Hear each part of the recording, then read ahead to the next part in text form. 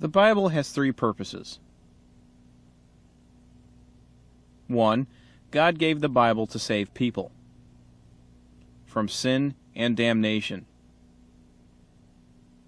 When God made people, He wanted us to live in joyful, blessed fellowship with Him. Through sin, people lost fellowship with God and had eternal death.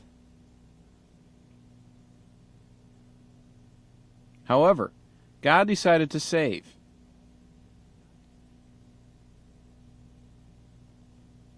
all people and restore fellowship. When the correct time came, God sent His Son to die for us and save us. We learn about God's plan to save us. Where? The Bible. God gives us the Bible. Why? To reveal His saving work. The Bible can make us wise. For what? Salvation through faith in Christ Jesus. 2. God gave the Bible to train His children to live holy.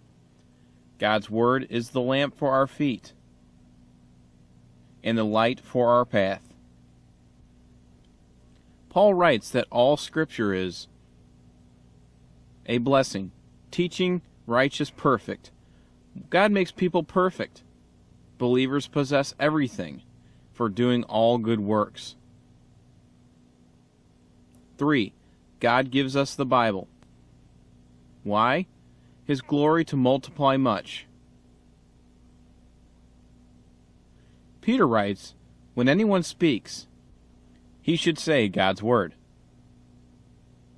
When anyone serves, he should use the skills God gives him. Why? So that God will receive glory through Jesus Christ.